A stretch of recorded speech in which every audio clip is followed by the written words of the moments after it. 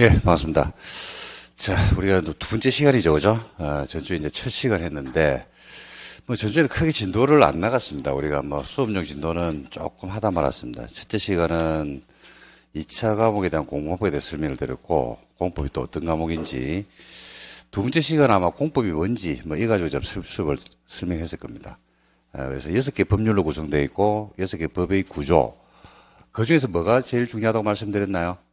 국토계획법이죠, 그죠? 국토계획법. 국토계획법을 잡아야 됩니다. 그 공부하는 방법이 상반기, 중반기, 하반기로 나누셔야 돼요. 상중하로 나눠서 상반기, 상반기를 언제까지 보냐면 벚꽃 필 때까지 어디에 영향을 쏟아지냐면 국토계획법, 국토계획법. 그 다음에 이제 중반부, 어, 중반부는 이제 에, 봄에서 초여름까지 를 봅니다. 그거는 뭘 봐야 되냐면 예, 국토계획법이 보면 되면요. 개발법과 정비법이 보일 겁니다. 이제 눈에. 글자가 읽혀져요. 예, 그래서 그때를 하셔야 되고, 그 다음에 이제 여름 휴가점에 예, 건축 주택을 하시면 됩니다. 그래서 제가 하라는 거는 뭘 하라, 무슨 말씀을 드리는 거냐면, 그때 이제 집중적으로 공부를 하시면 된다는 이야기고, 어, 이렇게 말씀을 드리면 오해하시는 분들이요. 오, 그래, 국회법만 해라고 상반기에는 그래서 개발, 정비, 주택 건축할 때는 학원에 안 온다든지 강의를 안 듣습니다. 큰일 납니다. 대형 참사 벌입니다. 대형 참사. 그러니까 뭘 해라냐면 예습 복습을 할 때 상반기에는 이제 국토계획법으로 하시고 그죠? 대신에 개발법과 정비법 수업은 들어야 돼, 안 돼요? 들어야지. 그걸 계속 들으면서 수업 시간에 해결하시는 겁니다. 이해하고, 아, 그 용어를 익히고, 이렇게. 그죠? 그 대신에 이제 집에 가서 오늘 만약에 예를 들어서 뭐 한 12월 하순경 돼 가지고 주택법을 우리가 수업을 했습니다. 그죠? 그러면 집에 가서 갑자기 공부 공부하고 싶을 때가 있거든요. 그런 날은 절대로 안 오는데 갑자기 1년에 한두 번 와요. 그럼 뭘 해라는 얘기입니까? 국계법을 해라고, 국토계획법을. 뭔 말인지 이해되십니까? 그런 식으로 단계별로 나눠서 하셔야 돼요. 그래야지 공법을 1년은 무난하게 끌고 갈 수 있습니다. 예, 무리해가지고 처음부터 의욕이 넘친다고 막 모든 법을 다 삼키려고 하면 예, 여러분들 책이기나 내가이기나 해보자라고 하면 100점 100패입니다. 100점 100패. 공법은 예, 과목의 특성이 좀 그런 게 있으니까 예, 그런 방법으로 좀 하시면 좋을 것 같고. 그 다음에 이제 세 번째 시간에 전주에 이제 뭘 했더냐면 한번 여러분들 전주에 이제 수업 들은 걸 제가 아, 한번 어, 반복해 드린 겁니다. 세 번째 시간에 뭘 했냐면 국토계획법의 전체 목차, 아, 국토계획법이 어떻게 구성되어 있는지 예, 국토 계획이죠. 계획에 초점을 맞췄다고 했죠. 그래서 아, 광역 도시 계획 있고 기본 계획 있고 그다음에 관리 계획 있고 관리 계획 안에 예, 구체화되는 내용 여섯 가지가 있더라고요. 이렇게 이제 묶어서 계획 규제로 부르고 그 다음에 이제 하나 나오는 게 이용 규제가 있고 아마 그랬더랬습니다. 자, 그래서 지금 국계법을 배우고 있으니까 국계법의 중요성은 뭐 말로 표현해도 뭐 그죠? 말로 표현해도 가이고 말로 표현할 수가 없어. 그래서 한번 다시 전체 흐름 목차를 한번 잡아보고 갈게요. 항상 공법은 수업할 때 첫 시간에 첫 시간에 그 해당하는 법의 전체 목차를 잡아드릴 겁니다. 이걸 외우지 마세요. 외우는 게 아니고 물 흐르듯이 가는 겁니다. 자꾸 보다 보면 1년을 볼 거거든요. 그래서 수백 번을 보게 될 건데 여기 이제 물 흐르듯이 목차가 쭉 흘러가는 걸 자꾸 보다 보면 나중에 이제 내년에 시험 칠 때쯤 되면 공법 전체 흐름, 국계법, 개발, 정비, 주택, 건축의 전체 흐름이 머릿속에서 물 흐르듯이 쭉쭉 흘러갈 겁니다. 우리가 지하철 타다 보면 지하철을 매일 타다 보면 그죠? 그냥 본능적으로 어, 지하철역이 이 다음 역에 무슨 역이 있고 이 다음 역 다음에 또 무슨 적이 있고 이런 것들이 기억나죠, 그죠? 하고 똑같이 흐름을 보셔야 됩니다. 공법은 특히 이제 체계적인 어떤 수술이 상당히 중요한 법이거든요. 논리 구조를 가지고 있어서 그래서 그 흐름을 여러분들이 자연스럽게 보시면 돼요. 자, 해보겠습니다. 자, 우리가 지금 배우려고 하는 법이 무슨 법이에요?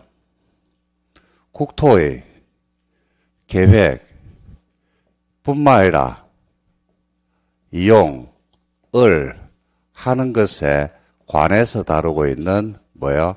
법률입니다. 이거 한마디로 하면 무슨 법이라고 불렀어요, 제가? 규제라고 했죠, 규제. 규제. 뭐, 뭐, 뭐, 해라, 하지 마라. 하지 말합니다, 하지 마라. 뭐, 뭐, 하지 마라. 그러니까, 국토계획법이 무슨 역할을 하냐면, 중2 아들하고 엄마 사이에 있는, 그죠? 엄마 역할입니다. 잔소리를 계속 하는 법입니다. 이렇게 잔소리하는 법이 잔소리하는 법. 보니까, 테마가 두 개의 테마가 형성돼 있죠, 그죠? 무슨 테마가 한 개 있냐면, 계획 규제 한 개. 이용규제 한 개. 대상을 뭐로 대상으로 합니까? 우리 국토 전체를 대상으로 해서 계획과 유용 두 개의 테마를 딱 잡아놨어요. 그러니까 나는, 나는 뭐를 다루고 있냐면 계획하고 이용 두 개만 다뤄. 다른 건 안 다뤄라고 법에서 딱 못을 박아놨단 말입니다. 주택법은 뭐에 대해서 다루고 있을까요? 주택. 그러니까 법의 명칭이 법의 명칭이 그 법이 하는 역할을 갖다가 제시를 한다니까요. 우리가 어떤 도구에 이름을 붙이잖아요. 그죠? 명칭을 붙이죠. 그죠? 그 명칭을 붙이면 핸드폰이 뭐예요? 핸드폰이? 핸드폰이. 뭐야, 이거? 핸드폰이 뭐냐고. 손에 들고 다니는 전화기. 그러니까 핸드폰이란 말만 들어도 그 용어만 들어도 핸드폰의 역할이 나오듯이 법의 명, 그러니까 명칭이라는 걸 굉장히 중요한 거예요. 그 명칭 속에 그 기능과 내용이 다 들어와 있다니까 함축적으로 표현되어 있는 거예요. 그러니까 국토를 뭐 하겠다. 계획을 세우겠다. 그 다음 뭐 하겠다. 이용을 해야 돼. 그 계획을 먼저 세워야 돼요. 이용을 먼저 해야 돼요. 그죠? 계획을 먼저 세웠죠. 그죠? 성, 이 앞에 생겼단 말이 성계획이에요. 그 다음에 이용은요, 후이용이야, 후이용. 그러니까 옛날부터 계획을 잘 세웠으면 이런 법이 필요 없었다고 했죠. 그래서 이 법이 만들어진 게 2003년인데 그전에는 국토가 계획 없는 무분별한 개발, 그러니까 계획이 아예 없었던 건 아닌데 국토 전체에 대한 종합계획이나 이런 건 있긴 있었더랬습니다. 근데 체계적 계획이 있었다 없었다 없었더랬거든요. 그러니까 문제가 생겼죠. 그러니까 우리나라 지금 국토가 가지고 있는 문제점들이 대한민국의 땅덩어리가 가지고 있는 문제점들이 많다고 제가 이야기했잖아요. 그죠? 첫 번째, 어떤 게 제일 큰 문제가 있습니까? 빨리 말해라. 수도권 집중 현상. 수도권 집중 현상. 인구의 절반이 살고 있다니까요. 굉장히 위험해요, 이게. 그 다음에 동서간에 옛날에 그랬죠. 지금은 안 그런데 동서간에 불균형, 남북 간에 불균형. 그러니까 수도권에 모든 게 집중화되어 있고 동과 서쪽에 균형 발전이 안 되어 있죠. 그러니까 지금 이제 나오고 있는 말들이 지방 분권안이 지방 분권안이 그 다음에 어떤 말들이 나오고 있냐면 지방 소멸 이런 말들이 나오고 있단 말입니다. 땅덩어리는 좁은데 끝에서 끝까지 가는데 얼마 걸려요? 끝에서 끝까지 가는데 안 가봤나? 비행기 타면 비행기 타면 그죠? 차 한 잔 마시면 까난 잡힌다니까요. KTX 타면 얼마? 2시간 40분. 부산 안 가봤구나. 2시간 40분. 그죠? 그런 식으로 굉장히 좁은 나라다, 좁은 나라. 근데 어디에 바글바글 모여있냐면, 요, 요, 요, 요, 요, 요, 요, 요, 요, 바글바글 모여있다니까요. 그러니까 이게 옛날, 지금으로도 한 4, 50년 전부터 국토 균형 발전을 위한 계획을 세우고 지방 분권한 책을 쓰고 했다 그러면 저출산 문제라든지 여러 가지 문제를 갖다가 해결할 수가 있었는데 그게 인지하려고 하니까 인구는 감소하고 있고 그죠? 인구는 줄고 있고 인지하려고 하니까 이게 조금 시기적으로 늦지 않았느냐라는 이야기를 하는 겁니다. 그래서 그 문제를 해결해서 만든 법이 국회법입니다. 그러니까 여기서 여기 이제 국토개혁법은요, 어, 당연히 초점을 어디에 맞출까요? 이거 맞추는 거지. 법의 목적이 계획 때문에 만든, 그 계획에서 시험 문제가 12문제, 12문제 중에서 이런 문제가 나온다니까요. 이용해서 두 문제가 나오고. 그게 법의 목적대로 그, 그, 그 딱만큼 출제를 하게 돼 있는 겁니다. 그래서 국토의 계획 및 영향 법률은 계획에 초점을 맞췄기 때문에 제일 먼저 나오는 계획이 이제 무슨 계획이 나올 거냐면 음, 광역도시 계획이 나옵니다. 광역도시 계획이. 공부에서 광역이란 말이 무슨 말이라고 했어요? 부산광역시를 광역이란 말이라고 한다고 하진 않았죠. 두 개 이상의 어디에서 특광시군에서의 뭘 제시한다? 장기적인 발전 방향을 주셔야죠. 그러면 이걸 뭐라 그러냐면 광역도시계라고 부릅니다. 오늘 좀 이따 설명할 겁니다. 그 다음에 관할 지역의 발전 방향을 제시하는 게 무슨 계획이 있나요? 도시군 계획이 있었고, 여러분 전주에 제가 관할의 의미에 대해서 설명을 드렸을 겁니다. 전주에 아마 수업한 것 중에서 관할의 의미가 제일 중요할 거예요. 그죠? 별거 아닌데, 별거 아닌데 공부는 관할의 체계를 알면 여러 가지 권한점 문제라든지 이런 부분들이 해결이 되고 책 읽을 때 상당히 좀 양을 줄이면서 읽을 수 있다고 했죠. 특히 특광시 군에서 특별자치 시도를 잘 여러분들이 출치면서 보는 게 아니고 특별자치 시도가 가진 역할을 딱 이해한 다음에 특별자치 시도는 누가 하는 역할, 시, 군구에서 하는 역할도 하고 누가 하는 역할도 하고 시도가 하는 역할도 하고 그래서 특별자치 시도는 앞으로 줄치는 게 아니고 시도가 놓으면 당연히 누가 있다고 보시면 돼요 그냥 특별자치 시도가 있다고 보시면 돼요. 또 시, 군구가 놓으면 누구도 당연히 있다. 특별자치 시도도 당연히 있다. 혹시 어, 지금 수업을 지금 들으시면서 오늘 만약에 이 수업이 첫 수업이면 첫 수업이면 인터넷 강의 들으신 분들은 스톱 키를 누르고 어, 앞에 강의를 듣고 오셔야 돼요. 우리가 여러분들 강의 들으실 때 한 줄을 펑크를 내버리죠, 그죠? 그러면 연결고리가 끊어집니다. 법은 법은요, 법은 1조가 있다는 전제 하에서 2조가 있어요. 2조가 갑자기 독립적으로 있을 수 없단 말입니다. 1조하고 2조가 있다는 전제 하에서 몇 조가 나오냐면 3조가 나오고 그죠? 1조, 2조, 3조가 있다는 전제하에서 몇 조가 나온다? 4조. 그러니까 물고 물고 들어갑니다. 그래서 수업을 들으실 때, 어, 나중에 이제 하반기에는 괜찮은데, 이런데 실력이 좀 올라오면 괜찮은데, 초반부에 공부할 때는요, 예를 들어서 오늘 이제 수업하는데 실 강의 들으시는 분들하고 인터넷 강의 들으시는 분들인데, 그날 강의를 못 들을 수도 있어요, 없어요?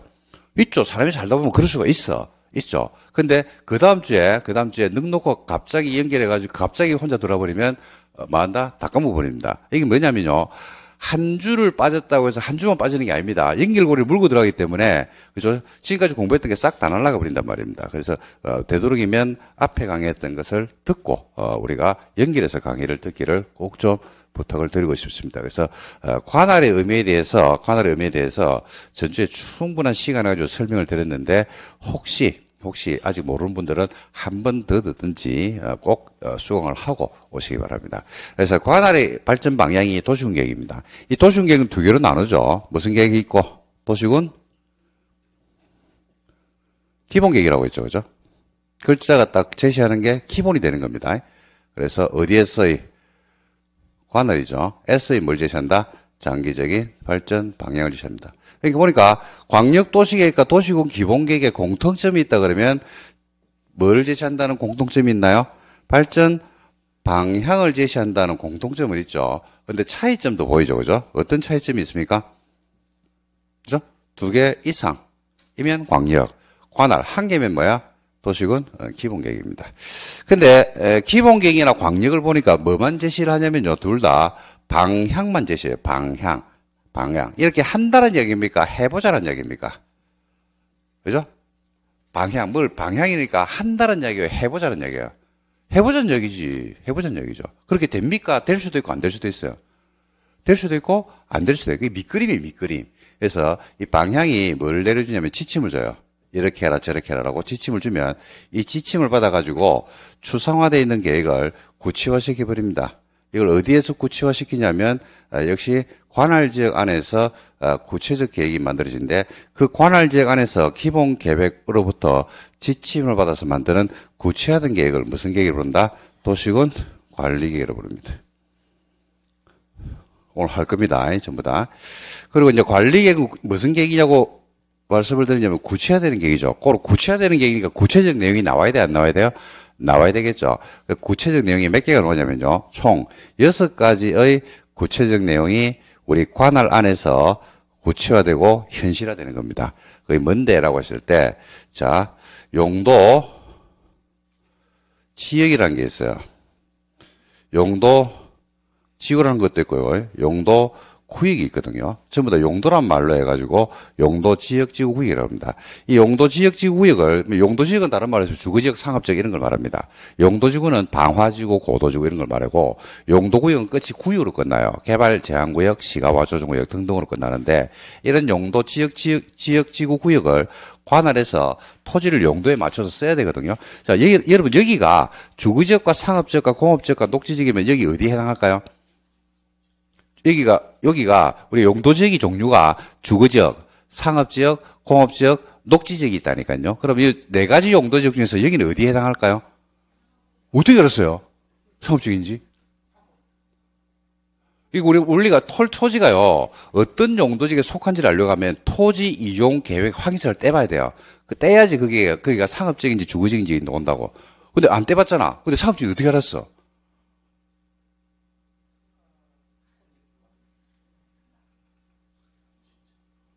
저게 뭐 당연한 이야기를 자꾸 물어보러 이런, 이런, 이 일시가 있다니까요. 사업주 어떻게 알았어요?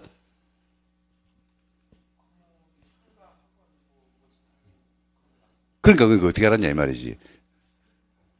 그죠? 여기 일시가 있다고. 그죠? 토지는, 토지는 어떤 용도를 정하죠. 그러면 그 용도에 맞게끔 써야 돼, 쓸 수 있는 거야. 써야 되는 거야. 그죠? 여기 만약에 우리 학원 옆에 공장이 있어. 학원 앞에 습지가 있어. 학원 옆에 학원 옆에 바로 옆에 붙어가지고 아파트가 있어. 그럼 여러분들이 여기를 상업지로 이야기할 수가 없겠죠. 그러니까 여기 건물의 용도를 보니까 주변 지역을 보니까 상업지역에 맞는 뭐가 형성돼 있다. 생활권이 형성돼 있는 거예요. 그러니까 여러분들이 아 상업지역이라는 거야. 예를 들어서 여러분 수업 마치고 어디로 갑니까? 대구로 돌아가실 거 아닙니까? 그럼 여러분들 살고 있는 집은 어디에 속해 있어요? 그 주거지역이죠. 근데 집 앞에 집 앞에 나이트 클럽이 있는 거야. 집 뒤에 모텔이 있는 거야. 집 옆에 공장이 있는 거야. 그러면 여러분들이 살고 있는 곳을 주거지를 할 수가 없잖아요. 그러니까 토지는 그 토지 용도에 맞게끔 뭐가 붙는다? 규제가 붙어 있는 거예요, 규제. 제가 예를 들어서 여기에, 여기에 토지를 가지고 있는데요. 상업적인데, 누가 뭐라고 상관없이, 그래서 공장 지을란다 이랍니다. 공장 지을 수 없어요. 허가 안 논다니까, 공장 허가가. 그래서 그렇게 토지를 용도별로 쓰게끔 지역지구 구역으로 나누어 놨단 말입니다. 그래서 이걸 어떤 용도로 쓸지, 어떤 어, 지구로 쓸지, 어떤 구역으로 쓸지를 갖다 만다 지정을 하고 때로는 지정된 것을 만다 변경을 할 수가 있단 말입니다. 이게 이제 관리 계획으로 표현되는 거예요. 그리고 기반 시설 있죠, 기반 시설. 도로, 학교, 공항 이런 기반 시설을 마기도 하고 설치하고 설치한 것을 정비를 하고 이를 마기도 한다. 개량을 하기도 합니다.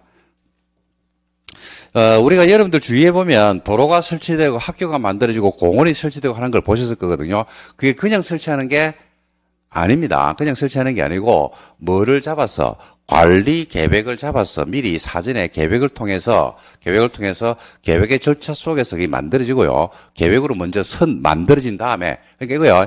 자 어디를 갖다가 도로를 설치하려고 하는 거지. 그러면 뭐로 먼저 뭐 해라 계획을 잡아란다 입니다. 그 다음에 그 길을 도로 부지로 만다 이용을 하는 겁니다.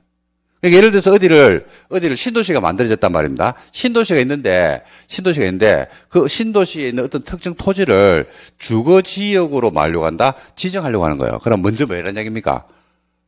계획 주거지역으로 지정할 때 그냥 지정하는 게 아니라 그러니까 야 여기다 집 지어 주거지역 해 그래 되는 게 아니고 먼저 뭐 해라 계획을 만들고 계획을 만들었지 그 계획대로 나중에 그 토지를 뭐로 이용해라 주거지역으로 이용해라 뭐 받으면서 규제 받으면서, 규제 받으면서. 그러니까 아까 말씀드렸잖아요. 제가 토지를 가지고 있는데, 주거 지역에 내가 토지를 가지고 있는데, 내가 거기다 공장 지으려고 하는 거야. 그러니까 공장 지으려고 허가 신청하니까 허가 나와, 안 나와?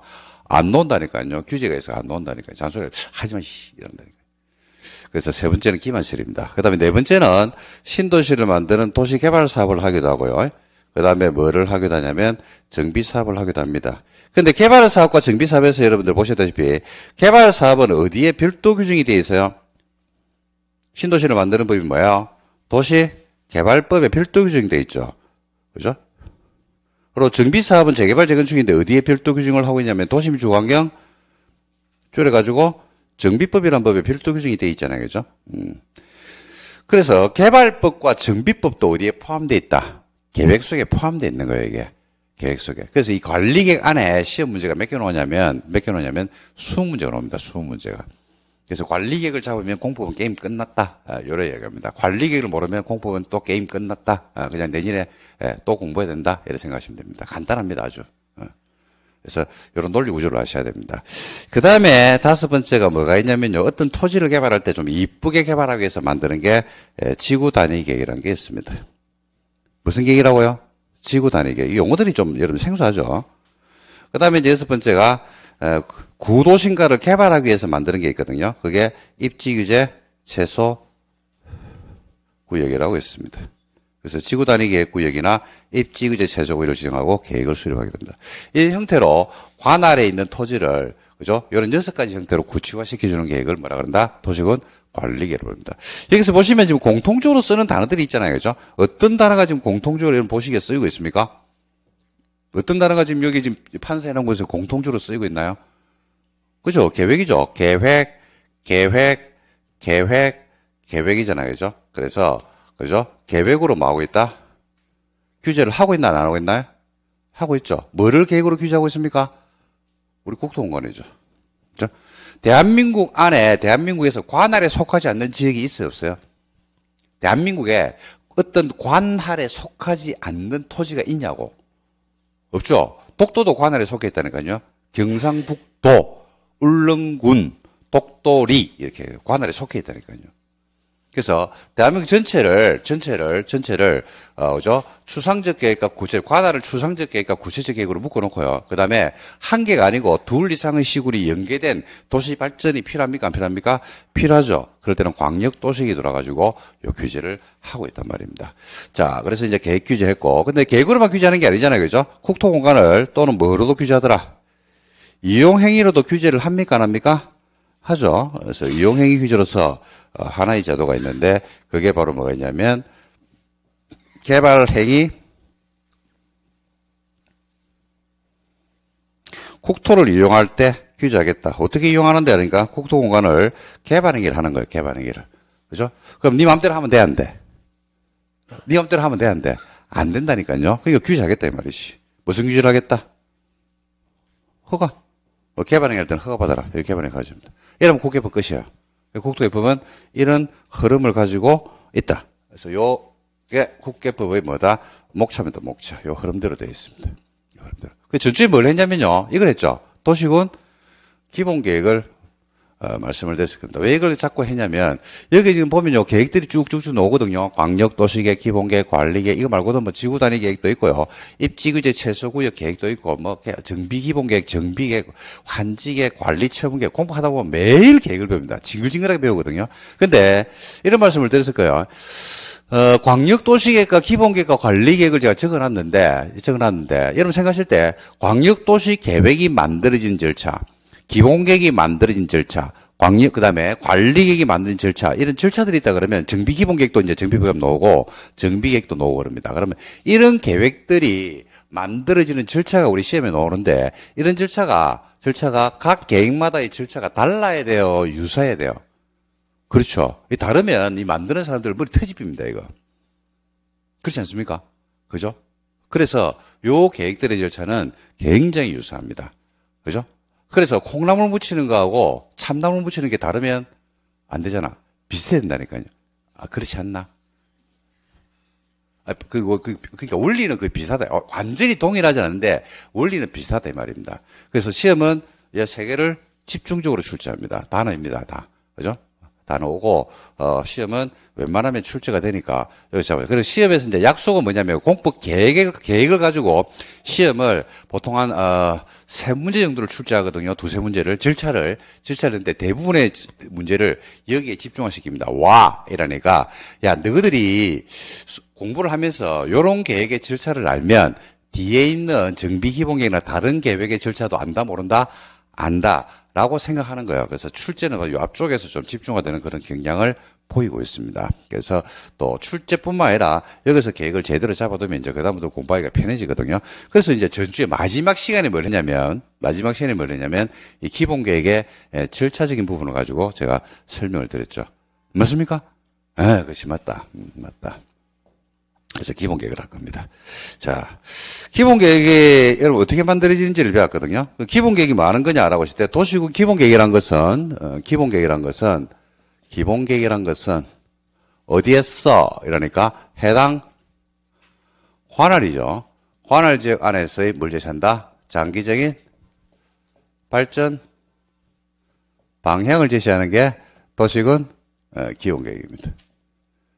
자, 시험은 뭘 내냐면요. 어, 기본 계획이 만들어진 절차를 냅니다. 절차. 기본 계획이 어떤 형식적 절차를 거쳐서 만들어질 것인지 이걸 출제하는데 자, 기본 계획이 어떻게 만들어지느냐 이를 물어봤을 때 두 개만 딱 기억하라고 했죠. 어떻게 만든다고요? 어떻게? 수립과 승인. 어떻게 만들린다고요? 수립과 승인. 두 개만 딱 기억하라고 했다. 다른 거 말고. 뭐라고요? 수립과 승인. 어떻게 만들린다고요? 수립과 승인. 음, 수립과 승인. 그죠? 이 양자는 두 개의 관계가 있죠. 어떤 구조로 가냐? 대등 구조입니까? 상하 구조입니까? 상하 구조죠. 그래서 행정의 체계상 수립권자가 시, 군구다. 그러면 승인은 누가 해야 돼요? 시도. 시도가 수립하면 누가 하고? 국자. 이런 식으로 논리 구조 따라갑니다. 상하. 외우는 게 아니라고 했습니다. 수립권자를 잡으면 승인권자는 자동 결정. 오토매틱입니다. 오토매틱. 그리고 수립할 때 그냥 합니까? 그냥 합니까? 절차가 또 다른 절차가 필요합니까? 필요하죠. 그 제일 먼저 뭐하고? 기초사잖아요. 그죠? 그 다음 뭐하고? 의견 듣죠. 의견 항상 몇 번 들라고 했어요? 두 번. 누구부터 먼저 한번 듣고, 지역 주민들에게 먼저 한번 듣고, 그 다음에 누구한테 갔어? 의회한테 가서 의견을 듣는데, 의회는, 의회는 의견을 내는 게, 의회의 본질적 기능은 제가 무슨 기능이 있다고 말씀을 드렸냐면, 입법 기능이 본질적 기능입니다. 근데 수립권자가 기본 계획의 관할의 장기 발전 방향을 제시하는 기본 계획을 수립을 하면서 서울시장이 서울의 발전 방향을 수립하면서 의회한테 물어보잖아요. 그죠? 그럼 의회는 의견을 줘? 일정에는 의견을 주겠죠. 이때 의회에서 의견을 주는 게 입법 기능입니까? 아니면 견제 통제 기능입니까? 그렇죠. 공포에서 의회의 의견 물어보는 거는요. 전부 다 무슨 기능? 통제 기능. 음, 입법 법을 만드는 기능이 아닙니다. 그래서 어, 우리가 수립권자가 서울시장이면 어디 의회에서 통제를 받아야 돼? 서울시의회. 수립권자가 만약에 경기도다. 그럼 어디 의회? 경기도. 그러니까 따라가야, 의외로 외우는 거 아니야, 이거. 외우는 게 아니고, 수리권자가 누군지를 자동으로 오토매틱으로 따라가는 겁니다. 시군면 무슨 왜? 시군거 왜? 시도면? 시도 왜? 이런 식으로 자동으로 결정되는 겁니다. 이해됐습니까? 자, 수립했죠? 그럼 누구한테 공을 던져버린다? 승인권자한테 공을 던질 거 아니야. 소리를. 뭐 해달라고? 승인해달라고. 그러면 승인권자가 승인할 때, 어, 행정이 독단이 빠지면 안 된다고 했잖아요. 그죠? 지 마음대로 결정하면 돼, 안 돼? 안 되죠. 모르는 거에서 뭐 해라? 물어봐라. 물어봐라. 근데 우리가 법 만들면서 물어봐라 이렇게 쓸 수는 없잖아. 그, 그걸 좀 고급지게 표현하는 거야. 협의해라. 협의해라. 협의란 말을 잘 봐야 돼, 협의. 협의란 말은요, 내를 중심에 놓고 봤을 때, 내를 중심에 놓고 봤을 때, 협의를 한다고 했을 때, 윗사람하고 협의를 합니까? 옆, 내하고 같은 레벨에 있는 사람하고 협의합니까? 아래 사람과 협의합니까?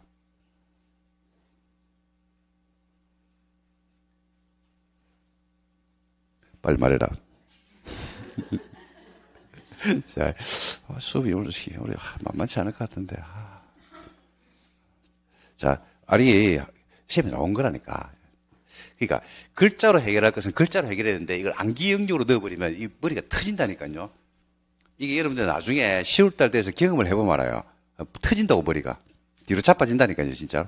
근데 글자로 해결할 수 있는 것들이 엄청 많다니까요. 우리나라 문화가 한자 문화권이고요. 법은 그런 논리 구조에서 만들어지는 것이지 그냥 만드는 게 아니라니까요. 그, 그, 한번 보는 거야.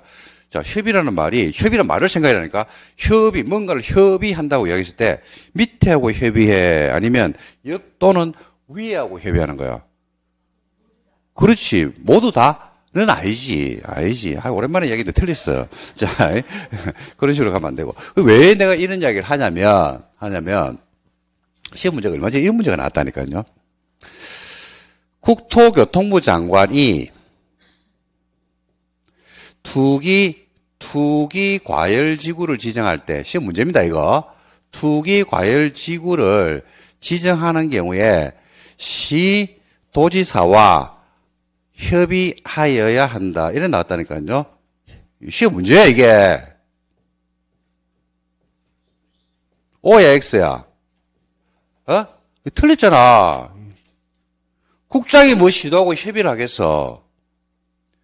국장이 밑에한테 협의를 한다고 말이 되는 소리가 이 국어 문제인데 이게.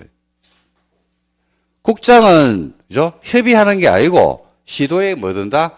의견을 듣는 거예요, 의견을. 그게 왜 이게 나왔냐면 법 조문에 있거든요. 국토교통부 장관이 투기 과열 지구를 할 때는 시도의사하고 의견 청취를 하면 되고요. 시도가 투기 과열 지구를 지정할 때가 있거든. 그때는 국장하고 뭐 해야 된다? 협의해야 돼. 그걸 바꿔서 낸 거야. 헷갈리지 이라면서. 이게 헷갈려? 이게 헷갈린다는 거는요. 외국인이 헷갈려 외국인. 내국인은 헷갈리면 안 돼. 당연한 이야기가 지금 들어와 있는데, 이거, 뭘 모르냐면, 이걸 모르, 이 말의 의미를 모르는 거야. 협의라는 말의 의미를 알고 가라고, 그러니까. 그 이런 기초를 다지고 들어가야 돼. 무조건 외운다고 되는 게 아니고. 그 협의란 말 많이 나와요, 시험에서 이거. 그죠? 그러니까 협의란 말은 내를 중심에 놓고 봤을 때 회사 대표가 김 과장하고 협의하나 그래? 김 과장한테 물어보지. 아이가? 그렇잖아. 그죠?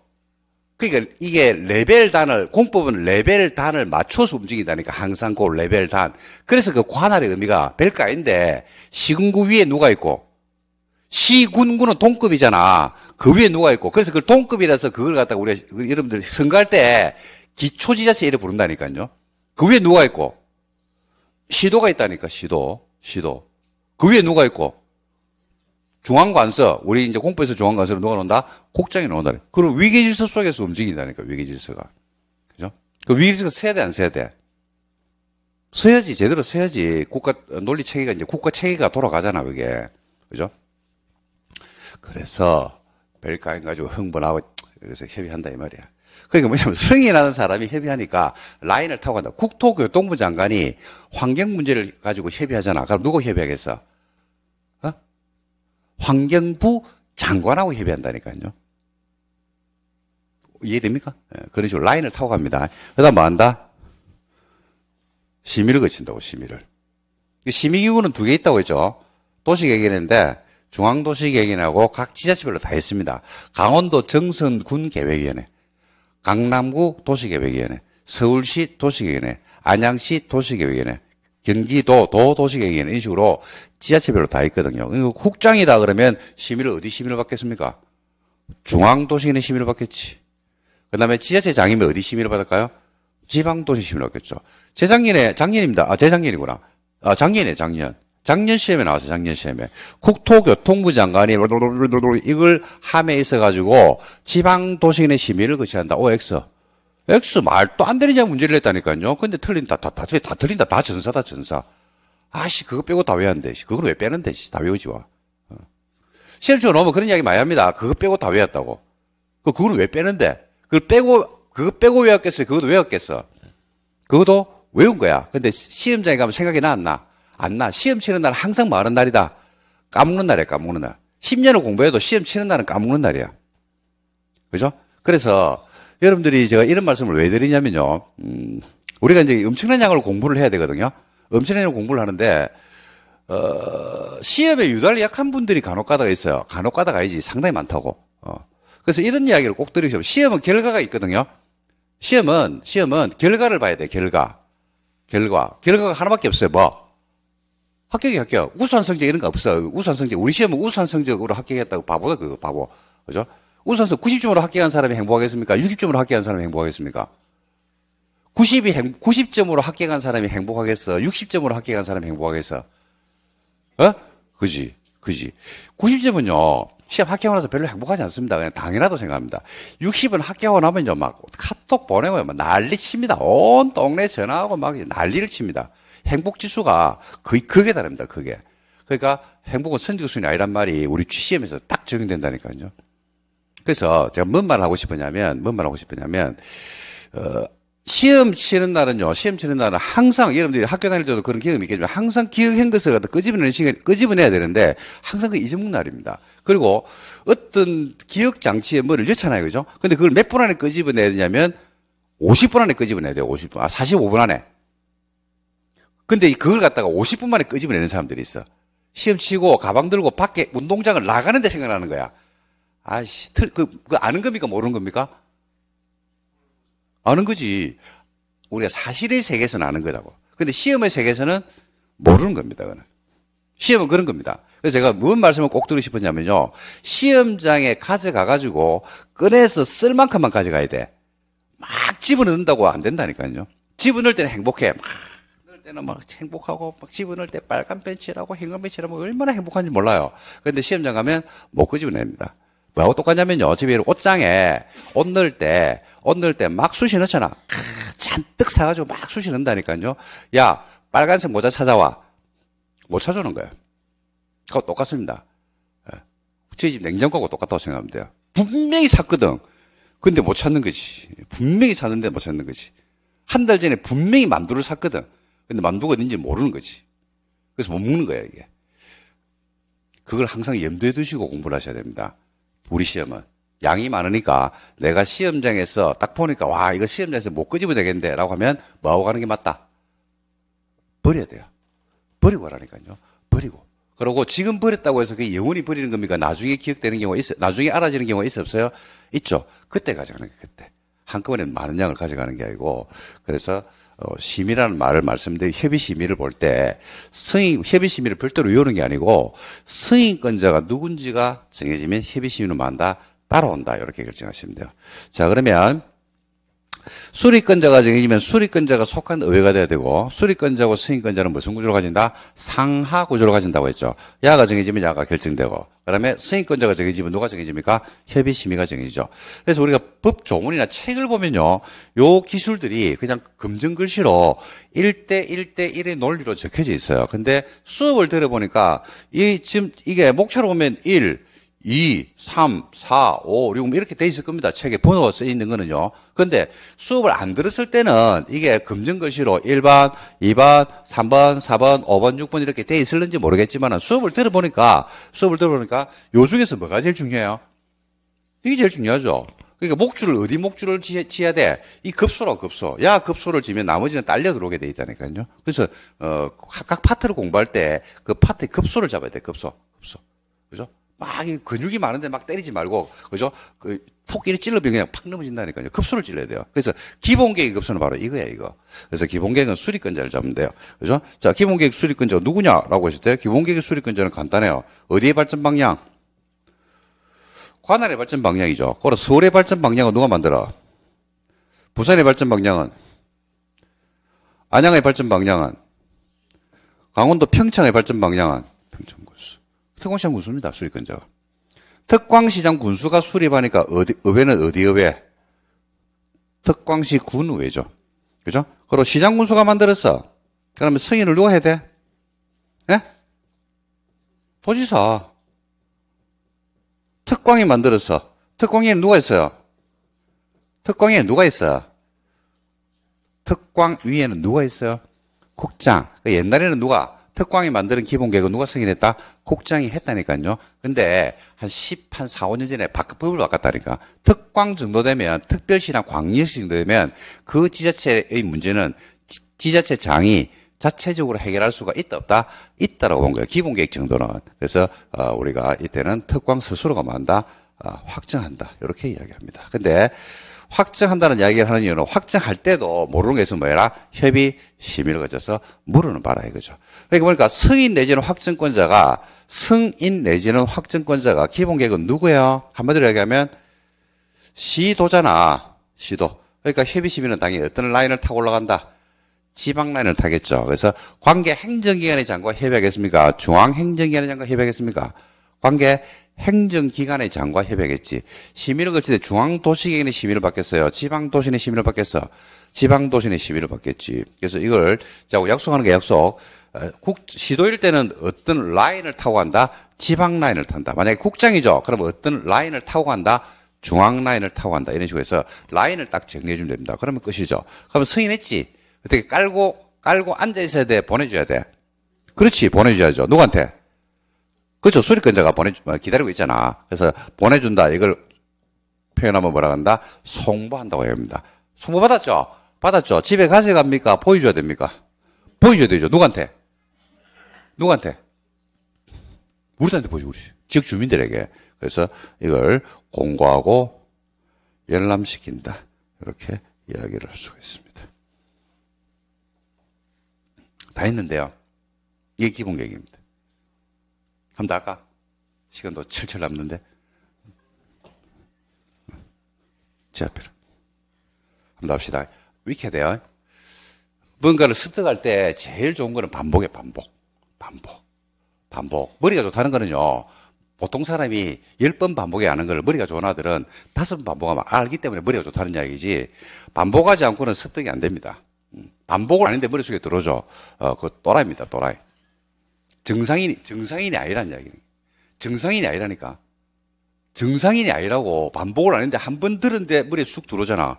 그런 방법이 하나의 충격을 주든지 뇌에다가 전기 자극을 해가지고 뇌에 충격을 주면 한 번만 해도 기억되는 경우가 있어요. 어떤 기억 장치에.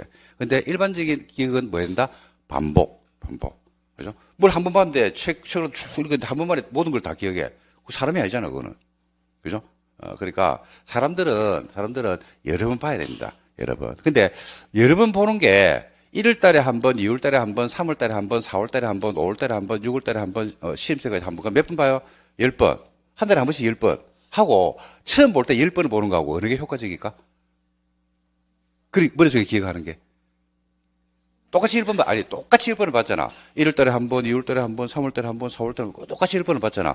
그 1번 하고, 그 다음에 처음 볼 때, 처음 볼 때 10번을 보는 거하고 어느 게 효과적일까요? 어? 머릿속에 기억하는 건 어느 게 효과적일까?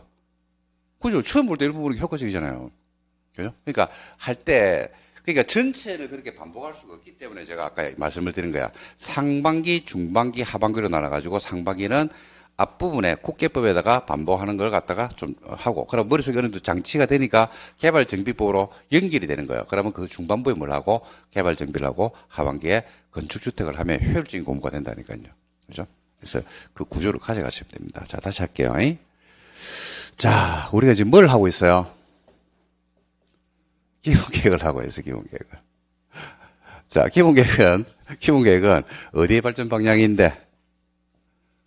어, 관할 지역 안에서의 장기적인 발전 어, 방향을 제시합니다. 단기간에요. 장기 발전 방향.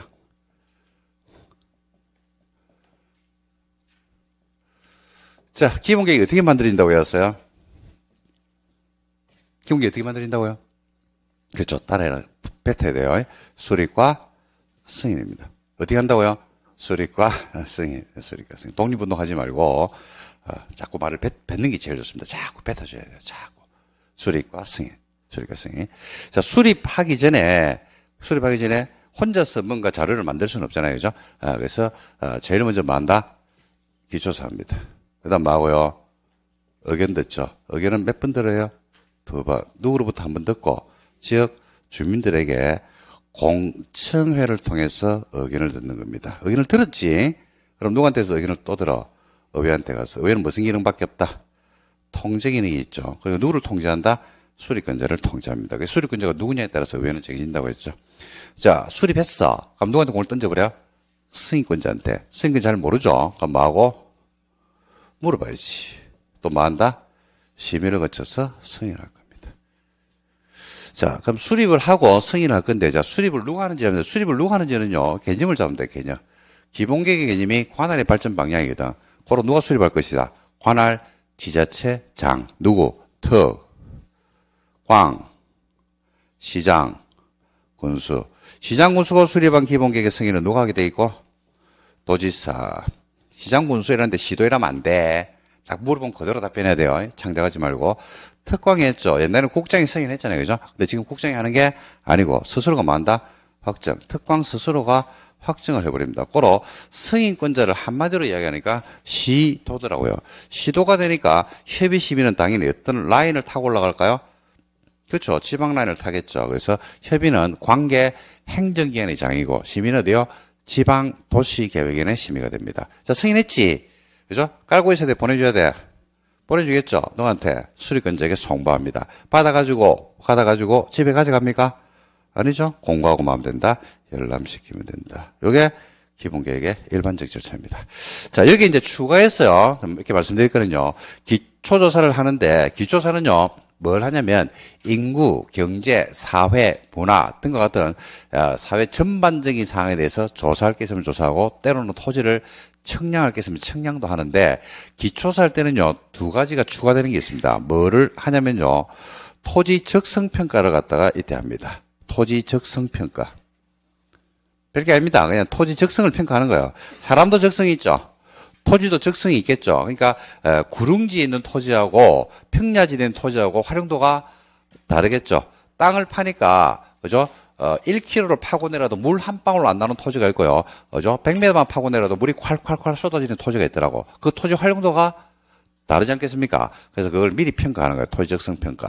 그 다음에 제 취약성 분석이라는 게 포함된 조사를 해야 됩니다. 뭐 한다고요? 제 취약성 분석이요. 뭐라고요?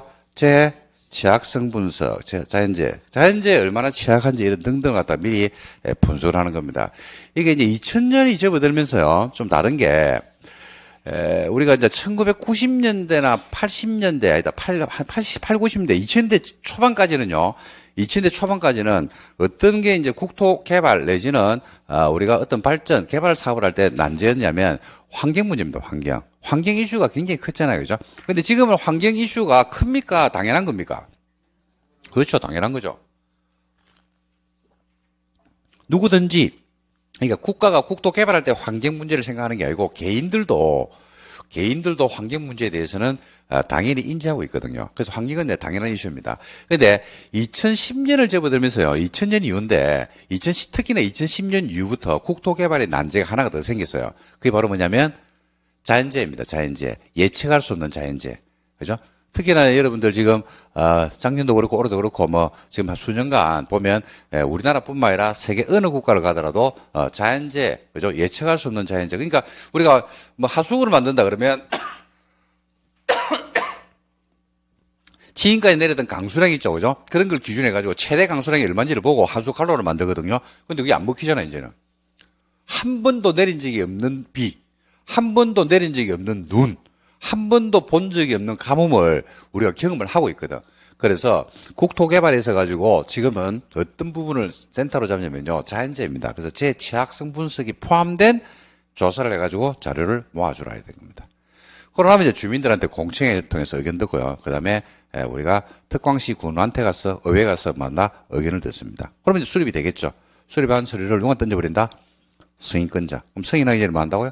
협의 시민을 거쳐서 승인을 하면 됩니다. 이게 기본 계획입니다. 두 번째는 언제면요. 이런 기본 계획은 이런 기본 계획은 이런 기본 계획은 원칙적으로 수립을 원칙적으로 수립을 해야 하겠습니까? 할 수 있겠습니까? 즉 관할의 발전 방향은 만들어야 되겠습니까? 만들 수 있겠습니까? 관할 관할마다의 발전 방향은 있어야 하겠습니까? 있을 수 있겠습니까? 있어야 되겠죠. 그래서 기본 계획 수립은 의무예요, 의무. 근데 예외적으로, 예외적으로 기본 계획 수립이 재량인 경우가 있다, 없다? 있다. 그러니까 수립을 안 해도 되는데, 저 생략하는 경우가 기본 계획을 생략할 수 있는 경우가 있다는 이야기입니다. 생략할 수 있는 경우. 어떤 경우에 생략하는데? 라고 하니까, 개념으로 보면 어떤 경우에 생략하는데? 라고 하니까, 경미한 경우가 있겠죠. 경미한 경우. 국토 공간에서 차지하는 비중이 그렇게 크지가 않아. 아, 그럴 때는 생략할 수가 있겠죠. 그러니까 우리나라 대한민국 전체 국토에서 그 차지하는 공간의 비중이 역할이 크지가 않더라고요. 그럴 때는 기본 계획을 안 만들 수도, 안 만드는 게 아닙니다. 안 만드는 게 아니고, 안 만들 수도 있다 이거죠. 어떻게 경우인데? 그러니까 첫 번째. 대한민국에서 제일 중요한 데가 어딥니까? 수도권이죠. 수도권이죠. 수도권에 속하지 않아야 돼요. 수도권에 속하지 않아야 돼요. 수도권 다음으로 중요한 데가 어디예요? 광역시죠. 광역시. 두 번째는 광역시하고 광역시하고 경계를 같이 하지 동서남북의 경계를 같이 하지 않아야 됩니다. 그리고 세 번째는 인구가 세 번째는 인구가 10만 이하짜리입니다. 이세 가지를 동시 충족하죠. 그럴 때는 기본 계획을 생략할 수도 어, 있습니다. 자, 어디라고요? 수도권에 속하지 않고 광역시하고 경계를 같이 하지 않는 동충조예요. 인구 얼마? 10만이입니다. 해볼게요. 여러분 강원도 정선 정선은 정선군은 관할 맞죠? 강원도 정선군 기본계획은 만들어야 되겠습니까? 만들 수 있겠습니까? 만들어야 하는 게 원칙이라니까요. 그런데 강원도 정선은 수도권에 속하지 않죠. 광역시 동서남북의 광역시하고 경계를 같이 하는 것도 아니죠. 인구가 얼마? 10만이 안 되거든요. 그러니까 강원도 정성군 기본계획은 생략할 수가 있는 거예요. 뭐 문제 됩니까? 자, 양평, 양평. 경기도 양평. 양평의 인구가 만약에 7만 명이더라. 그러면 양평군의 기본계획은 생략할 수가 없어요. 왜냐면 어디 속했기 때문에 수도권이거든. 그건 안 된다니까요. 그이세 가지가 동충조하면 예, 그때는 생략할 수가 아, 있습니다. 두 번째는 어떤 경우에도 생략할 수 있냐면요. 다른 거로 막을 수 있다. 대체할 수 있으면 돼요. 대체. 뭐로 대체할 수 있냐면요. 광역도시 계획으로, 광역도시 계획으로 대체하는 경우가 있습니다. 어떤 경우에 가능하냐면요. 광역도시 계획을 만들었는데, 광역도시 계획이 기본 계획의 관할을 전부 다 포함하고 있고, 광역도시 계획 내용에 보니까 기본 계획의 내용이 다 포함되어 있더라. 그러면, 어, 어차피 광역을 만들어 놨기 때문에 광역도시로 기본 계획을 대체해도 됩니까? 안 됩니까? 되겠죠. 관할도 전부를 포함하고 내용도 전부를 포함하는 경우가 있거든요. 이럴 때는 생략할 수도 있다. 이래 보시면 되겠습니다. 이제 두 가지가 생략하는 경우인데 하나는 어떤 경우에 생략한다고요? 내용이 말 때, 경미한 내용일 때, 또 다른 거로 말할 수 있으면 대체할 수 있으면 이렇게 잡으면 돼요. 자, 그 다음에 이제 세 번째 논점은요. 이런 기본 계획은, 이번 기본 계획은 관할 단위로 만드는 게 원칙입니다. 관할 단위로. 그러니까 서울시 기본 계획은 어디까지만 포함하더라. 서울시 권역만 서울이라고 하는 관할만 포함하는 게 원칙이에요. 근데 예외적으로 표현하면 인접 지역을 포함해서 인접 지역을 포함해서 기본 계획을 수립할 수도 있다 없다 있다. 인접 지역을 포함해도 어, 됩니다. 그러니까 원칙은 어디만 기본 계획의 범위가 포함되는데 관할이죠. 근데 예외적으로 인접 지역을 포함해서 수립할 수도 있는 거예요. 그죠? 그래서 이거는 제가 전체 수업을 할 때 이런 말씀을 드렸을 겁니다. 관악산이 있거든요. 관악산이. 수도권에 관악산이 있는데 관악산이 서울, 그 다음에 안양, 그 다음에 과천 이렇게 세 개의 시에 연결이 되어 있잖아요. 그죠? 근데 서울시에서 관악산을 서울 시민을 위한 그죠? 힐링 공간으로 만약에 예, 기본 계획을 잡았어요. 그러면 아, 기본 계획의 범위가 어디까지이기 때문에 관할이죠, 그죠? 그러니까 서울에서 관악산을 잡았으면 서울에서 관악산의 범위를 잡을 때 여기까지가 만약에 행정구역이 서울이다 그러면 여기를 자르는 게 맞습니까? 잘라가지고 세 번째 그죠? 능선 562m에 있는 세 번째 소나무에서 잘라라. 이게 맞습니까? 아니죠. 다 넣어줘야 돼, 안 넣어줘야 돼. 그죠? 그래서 그럴 때는 인접적을 포함하는 경우가 있다, 이 말이에요. 그러니까 포함하는 게 아니고 포함할 수도 있다. 그리고 기본 계획은 단기입니까? 장기입니까? 장기 발전 방향이죠. 한 번 만들면, 한 번 만들면 불변의 진리로 가는 게 맞습니까? 바꿀 수 있으면 바꿔주는 게 맞습니까? 그러니까 기본 계획은 장기적인 발전 방향인데, 그죠? 서울의 장기 발전 방향, 부산의 장기 발전 방향을 잡았어. 그러면 그걸, 그걸, 만약에 예를 들어서, 어, 부산의 장기, 서울의 장기 발전 방향을 2020년부터 2030년까지 해가지고 잡았어. 기본 계획을. 그럴 수 있어, 없어요? 있죠? 있죠. 그러면 2020년에, 20년도에 만들 거 아니야. 2020년부터 2030년까지 장기 발전 방향을 잡았으니까 이거 언제 만들었겠어? 어? 2019년, 18년쯤에 만들었겠네. 조사해가지고 막 해가지고. 그렇잖아요. 그죠? 그러면 한번 만들었잖아. 만들었잖아. 그럼 2030년까지 만들었으니까 불변의 진리로 계속 가는 게 맞습니까? 바꿔줘야 됩니까? 바꿔줘야죠. 국가 정책이 바뀌고 여러 가지가 바뀐다니까요. 그래서 기본 계획을 한번 만들고 나면 장기적인 발전 방향이라서 이걸 딱 한 번 만들고 나면 불변의 진리로 그대로 놔두는 게 아니고 이걸 재검토해 줘야 돼요. 재검토. 뭐 한다고요? 재검토, 타당성 검토라는 걸 한다니까요. 재검토 또는 이걸 타당성 검토라고 이야기합니다. 타당성 검토를 하는데 이거 몇 년마다 한다 이거? 이거 5년마다 합니다. 5년마다. 5년마다 한 번씩 타당성 그 기본 계획이 제대로 만들어지는지 여부에 대해서 타당성 검토를 아, 해야 된다. 이렇게 보시면 되겠습니다. 다 해버렸습니다. 이게 기본 계획이나 시험이 다 해버렸습니다. 시험 요소 어떤 문제나 다 걸립니다. 음, 다 했습니다. 대줄까? 그렇죠. 자, 요 정도 하도록 하겠습니다. 자, 설명 다 했고, 여러분 교재 34페이지 한번 보실래요? 34페이지.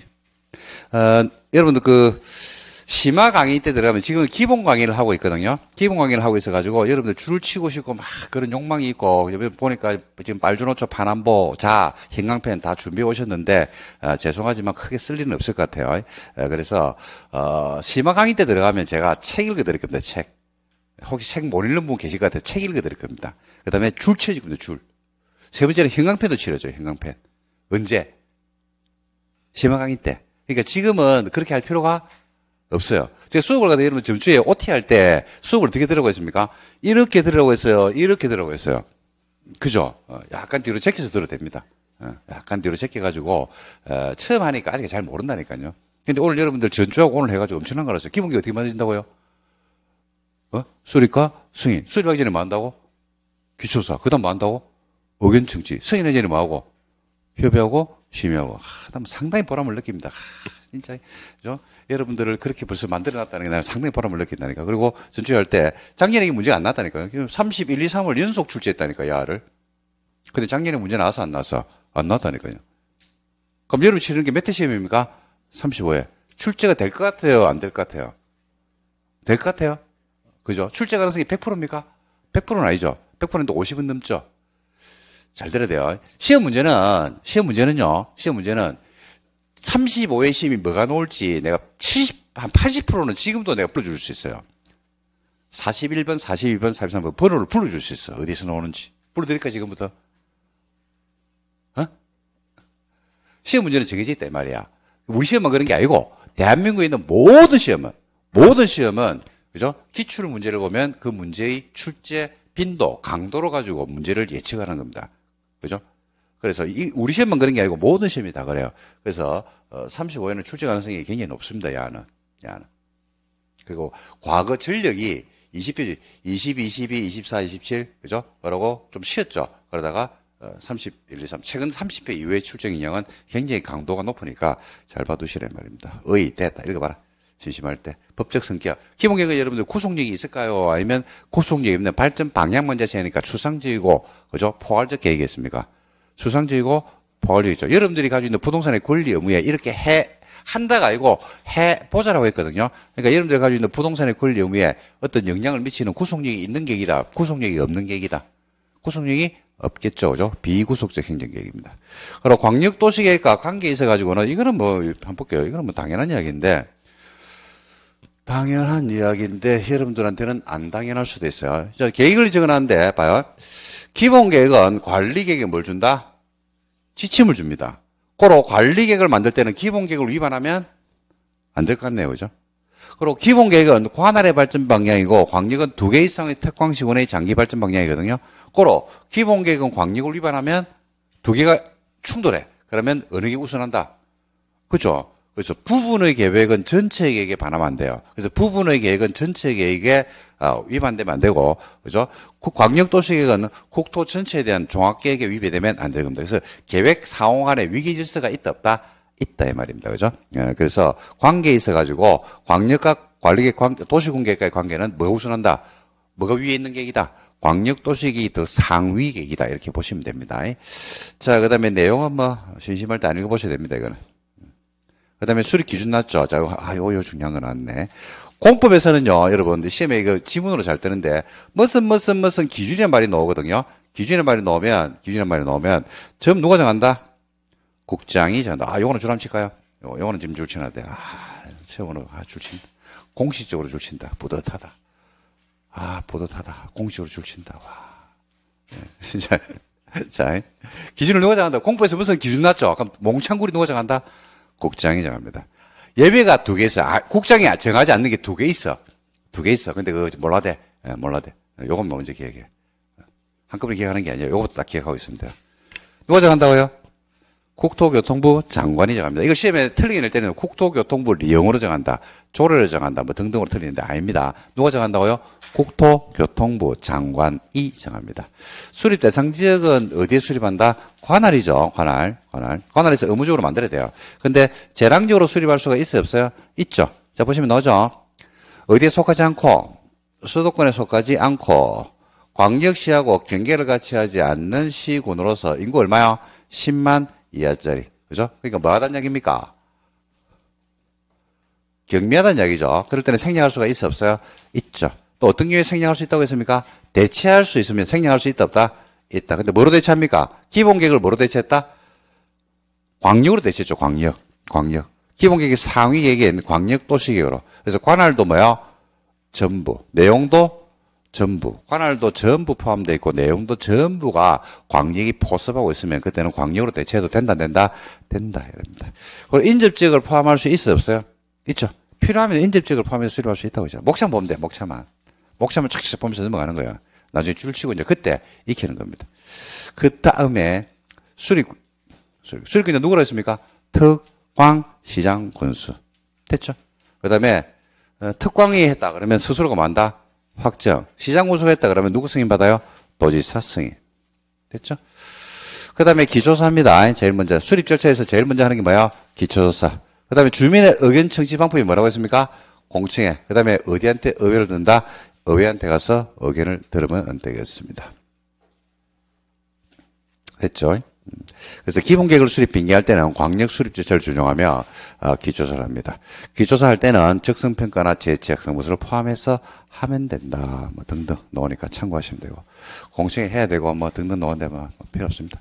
자 승인 절차 한번 볼까요? 승인하기는 뭐 한다고 했습니까? 협의나 심의죠. 보시면 시장 군수는 했습니다. 시장 군수는 했거든. 기본계획 수립 빙계하려면 그죠? 너, 누구한테 승인 받아라? 도지사 승인. 시장군수니까 도지사 승인이죠. 도지사가 승인할 때는, 도지사는 기본계획을 승인할 때는 관계 중앙입니까? 관계 행정기관입니까? 관계 행정기관의 장과 협의하고 심의는 어디 심의를 받아야 돼? 중앙도시계네, 지방도시계네? 지방도시는 심의를 받으면 되겠습니다. 이거 끝입니다. 그 다음에 승인하고 나서 송부하고 공고 열람하면 된다. 그 말이고요. 그 다음에 특광이 할 때는 스스로가 확정한다고 했죠? 특광은 기본 계획을 수립 빙계할 때는 어, 관계 행정기관의장과 협의하고 똑같죠. 지방도시계의 심의를 거쳐야 됩니다. 의견 제출 기간 이런 건 필요 없고요. 어, 승인하고 나면 송부하고 공고 열람시킨다. 재검토 몇 년마다 재검토 한다고 했습니까? 5년마다 한다고 했죠. 그리고 기본 계획에 뭐 반영하면 된다고 좋은 말이죠. 요 정도 정리하시면 됩니다 이게. 이게 다다. 다다. 재정이라도 문제도 풀었고요. 전주에. 자, 이렇게 해서 기본 계획을, 어, 전주에 포괄적인 내용만 설명을 드렸기 때문에 오늘 한 번 더 구체적으로 어, 설명을 드렸고 교재까지도 한번 스킵하면서 봤습니다. 자, 좀 쉽게요. 쉬었다가 안 본 게 뭐냐면 광역 도시계획을 안 배웠잖아요. 그죠? 그래서 광역 도시계획을 어, 좀 쉬었다가 배우도록 하겠습니다. 광역이 어디에 나오냐면요. 여러분 24P에 나옵니다. 좀 쉬었다 볼게요.